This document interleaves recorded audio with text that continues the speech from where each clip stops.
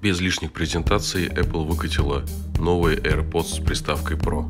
Новые наушники отличаются не только внешним видом, но и активным шумоподавлением. В комплект входят наушники, кейс с беспроводной зарядкой и три пары мягких силиконовых вкладышей, которые легко фиксируются на наушнике.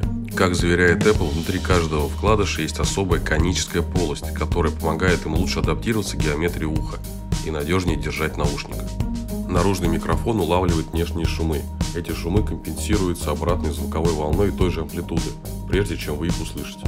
Внутренний микрофон анализирует звук внутри уха и таким же образом подавляет оставшийся шум обратной звуковой волной. Активное шумоподавление анализирует аудио с частотой 200 раз в секунду. Если вам нужно услышать, что вокруг вас, просто удерживайте датчик нажатия на корпусе, чтобы переключиться с активного шумоподавления на так называемый прозрачный режим и внешние звуки вы все услышите.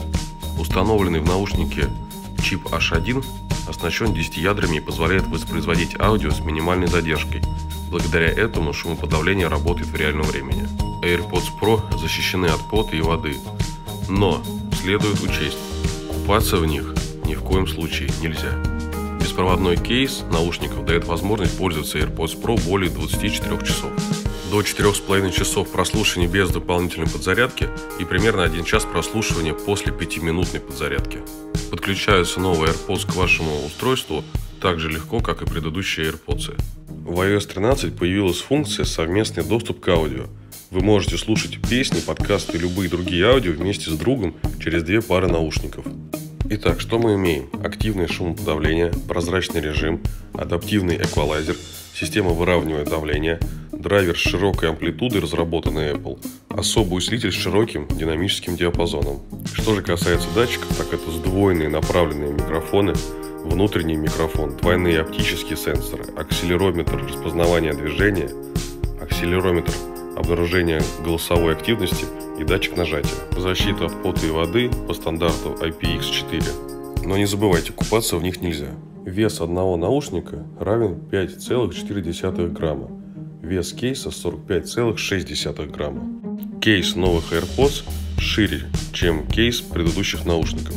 Зарядный футляр поддерживается зарядкой через разъем Lightning или с помощью зарядных устройств стандарта Qi. На борту имеется Bluetooth 5.0. Да, я совсем забыл сказать, то, что в комплект поставки входит кабель Lightning USB Type-C.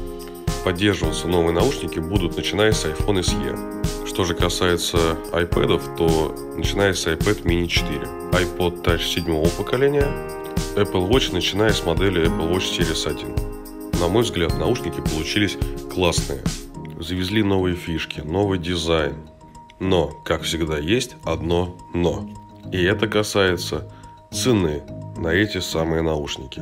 В данный момент в российских магазинах AirPods Pro можно купить за 20 990 рублей. Да, они, конечно, не должны стоить как предыдущие AirPods, потому что здесь возможностей больше. И если вы решитесь их себе заказать, то ждать придется от 3 до 4 недель. Вот такими получились новые наушники от Apple. Если понравилось, ставьте лайки, подписывайтесь, делитесь этим роликом с друзьями. Всем пока!